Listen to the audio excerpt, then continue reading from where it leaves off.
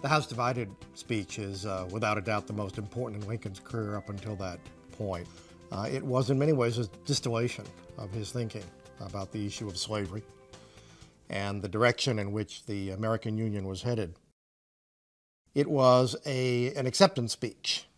It was a campaign speech. Uh, Lincoln had uh, been nominated by the Republicans of Illinois to run for the United States Senate against Stephen A. Douglas, his old rival.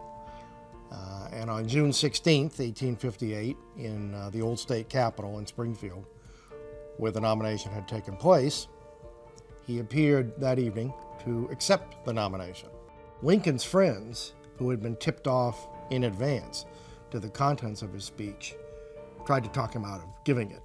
They told him it was too radical, that it would cost him his chance at defeating Douglas. What was so radical about the speech is what we all remember about the speech the use of the biblical phrase, the house divided, from the book of Matthew. He was arguing that either slavery would be put on the road to extinction, which is what he and other moderate Republicans favored, or it would extend to the entire country.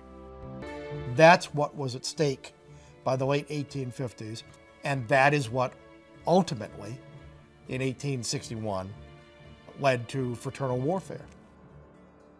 It was certainly morally courageous for Lincoln to say out loud what perhaps many Americans privately thought, but very few wanted to confront. The speech became, in many ways, a credo, a rallying cry almost. He may have lost a race for the Senate in Illinois, but he gained almost overnight a national reputation.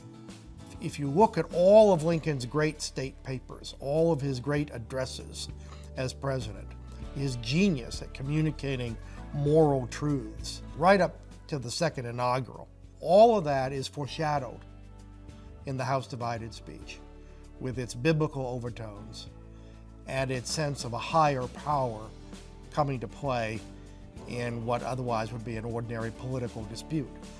It's a kind of opening act for the Lincoln presidency.